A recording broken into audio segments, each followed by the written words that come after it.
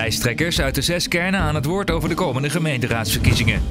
In de bibliotheek van het Lichtruim in Beeldhoven hebben we de lijsttrekkers uitgenodigd om aan de hand van vier vragen in vijf minuten de kernwaarden en standpunten van hun partij aan de kiezers duidelijk te maken. Met in deze aflevering Nico Jansen. Lijsttrekker van de ChristenUnie. Lijst 7 met vijf kandidaten. Nico Jansen werd geboren in Utrecht, waar hij ook studeerde en is 67 jaar.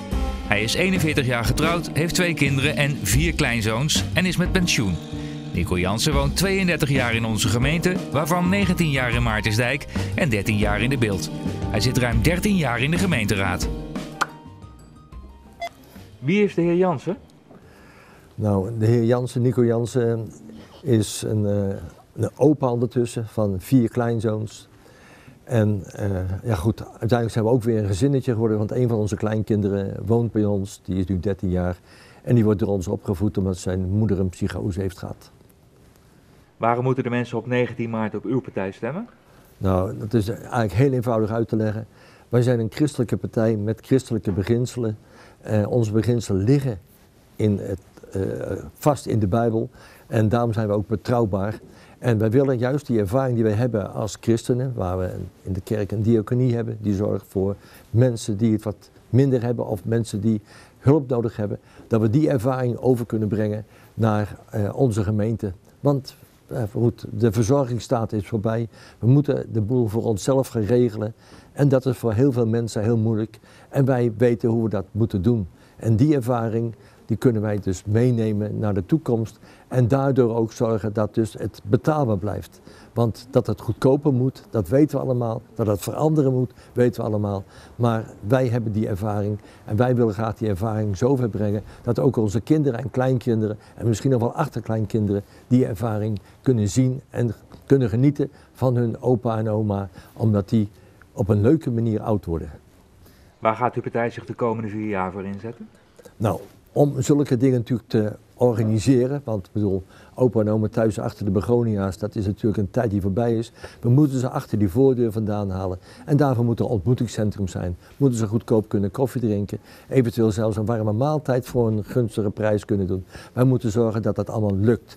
En daarom gaan wij dus voor wijk- en ontmoetingscentra, dorpshuizen. Dat vinden wij, dat zijn dingen die moet de gemeente organiseren. En dan moet tegen betaalbare prijs moet daar koffie of een thee gehaald kunnen worden. En dan moeten de mensen het ook gezellig Dus op loopafstand zorgen wij ervoor dat, dat die mogelijkheden er zijn. En anders dan gaan we maar met vrijwilligers een busje regelen. Dat ze gehaald en gebracht kunnen worden. Maar de mensen moeten wel een netwerk kunnen krijgen. En dat netwerk, dat kunnen ze al, als ze nog heel goed kunnen lopen en al die dingen meer kunnen doen, kunnen ze al zelf opbouwen door naar cursussen te gaan die we aanbieden. En daar hun capaciteit te ontwikkelen om later een goed netwerk te hebben. Dat netwerk, dat vinden wij belangrijk. En dat netwerk, daar gaan wij ook voor, dat dat er komt. Dat zijn onze inspanningen. En natuurlijk hoort daar ook bij dat wij, laten we zeggen, een zwembad hebben waar wij compleet achter staan, waar iedereen naartoe kan gaan. En dat er een uh, sporthal is of een sportzaal waar ze kunnen bewegen. En dat gaat niet alleen om de jeugd daarin binnen te krijgen, maar ook de ouderen met hun koersbal en andere dingen. Dat vinden wij belangrijk voor nu en in de toekomst. Want dat er een toekomst is voor een ieder, daar staan wij voor. Dat is iets wat de ChristenUnie nu ook uit wil dagen. En voor een christen is natuurlijk die toekomst nog wat breder.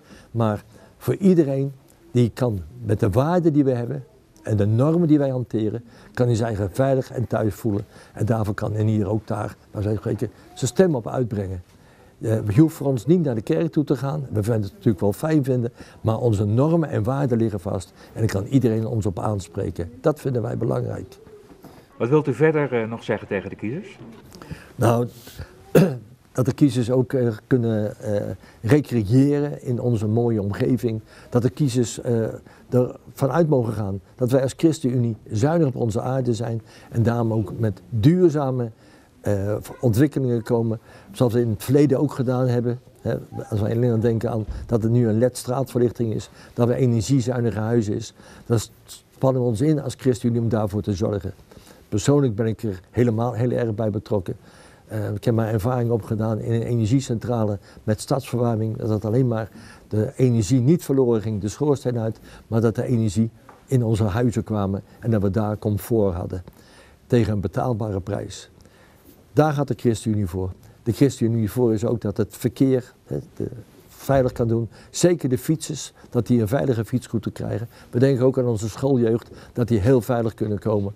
En daar ook op een fijne manier in school, zelfs dat ze op eigen kracht kunnen. Want ze moeten zelfstandig straks in de maatschappij staan. En die zelfstandigheid moeten we ze al heel jong leren. Dat is iets waar de ChristenUnie voor, gaat. Dat is iets waar de ChristenUnie over wil brengen. En iedereen zijn eigen capaciteiten kunnen ontwikkelen. En dat ze hun zelfvertrouwen krijgen voor nu en in de toekomst. Daarom, de ChristenUnie is er voor u.